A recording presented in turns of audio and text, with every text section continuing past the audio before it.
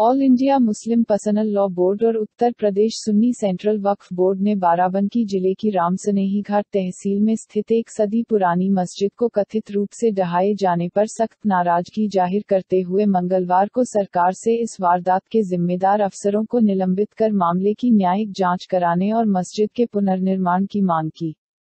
All India Muslim Personal Law Board के कार्यवाहक महासचिव मौलाना खालिद सैफुल्लाह रहमानी ने एक बयान जारी कर कहा, बोर्ड ने इस बात पर नाराज़गी का इजहार किया है कि रामसनेही घाट तहसील में स्थित गरीब नवाज़ मस्जिद को प्रशासन ने बिना किसी कानूनी औचित्य के सोमवार रात पुलिस के कड़े पहरे के बीच शहीद कर दिया है। उन्होंने कहा, यह मस्जिद सौ साल पुरानी है और उत्तर प्रदेश सुन्नी सेंट्रल वक्फ बोर्ड में इसका इंदराज भी है। इस मस्जिद के सिलसिले में किसी किस्म का कोई विवाद भी नहीं है। मार्च के महीने में रामसनेही घाट के उप जिलाधिकारी ने मस्जिद कमेटी से मस्जिद के आराजी से संबंधित कागजात मांगे थे।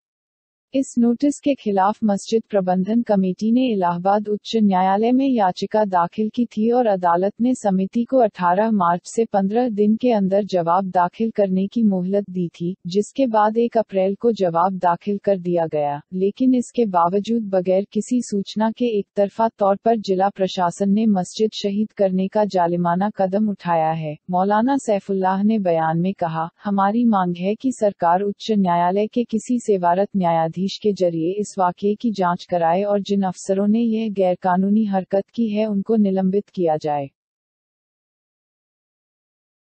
साथ ही मस्जिद के मलबे को वहाँ से हटाने की कार्रवाई को रोककर और ज्यों की त्यों हालत बरकरार रखे। मस्जिद की ज़मीन पर कोई दूसरी तामीर करने की कोशिश न की जाए। यह हुकूमत का फ़र्ज़ है कि वह इस जगह पर मस्जिद तामीर कराकर मुसलमानों के हवाले करे। इस बारे में जिलाधिकारी आदर्श सिंह, पुलिस अधीक्षक यमुना प्रसाद और उप जिला अधिकारी से बात करने की कोशिश की गई, लेकिन किसी ने फ़ोन नहीं उठाया।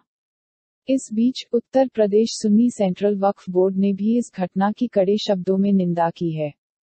बोर्ड के अध्यक्ष जुफर अहमद फारूकी ने एक बयान में कहा प्रशासन ने खास तौर पर रामसनेही घाट के उप जिलाधिकारी द्वारा अवैध अतिक्रमण हटाने के नाम पर तहसील परिसर के पास स्थित सौ साल पुरानी एक मस्जिद को ध्वस्त कर दिया है।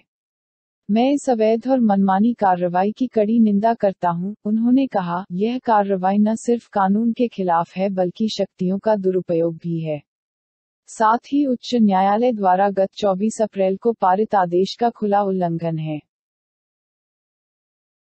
उत्तर प्रदेश सुन्नी सेंट्रल वक्फ बोर्ड उस मस्जिद की बहाली, घटना की उच्च स्तरीय न्यायिक जाँच और दोषी अधिकारियों के खिलाफ कार्रवाई के लिए उच्च न्यायालय में जल्द ही मुकदमा दायर करेगा, समाजवादी पार्टी के जिला अध्यक्ष मौलाना अयाज अहमद ने भी दावा किया कि रामसनेही घाट स्थित गरीब नवाज़ मस्जिद को ढहा दिया गया है।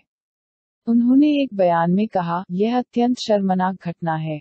बाराबंकी हमेशा गंगा जमुनी तहजीब का केंद्र रहा है।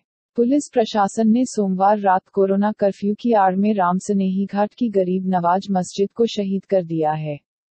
यह मस्जिद वक्फ बोर्ड में दर्ज है और यह आज़ादी से पहले की बनी है, अहमद ने कहा, हम प्रशासन के इस कदम की कड़ी निंदा करते हैं और सरकार से मांग करते हैं कि मस्जिद को दोबारा बनाया जाए और उप जिलाधिकारी को निलंबित करके मामले की सीबीआई जाँच कराई जाए।